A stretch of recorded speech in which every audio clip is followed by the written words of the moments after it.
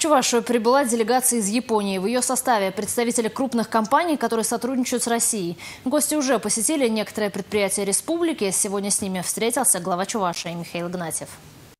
Фундамент, на котором строятся отношения между Японией и Чувашией, закладывался в 2010 году. Я помню 2010 год, когда вообще посольство впервые встречался с послом Японии в Российской Федерации. Впервые. Когда... И вот после этого у нас пошагово идем. Правда, не быстро все получается но, по крайней мере, все больше и больше контактов, больше доверия друг к другу. Глава Чувашии подчеркнул, что с большим уважением относятся к традициям и культуре страны восходящего солнца, особенно к тому, как там воспитывают детей. Высокого мнения Михаил Игнатьев и о деловых качествах японцев. Гости, в свою очередь, отметили, что видят в Чувашии надежного и перспективного партнера. Я очень люблю вот вашу республику. Я тоже уже поняли то, что народ очень трудолюбимый и в Востоке очень развито на производство. Я думаю, что есть возможность технически, возможно, сотрудничать.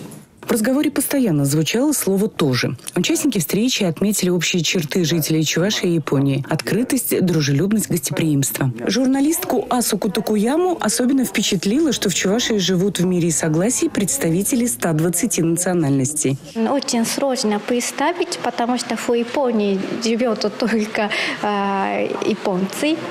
И э, я думаю, что э, такой э, характер, ну, национальный характер жителей этой республики очень такой специфический в хорошем смысле.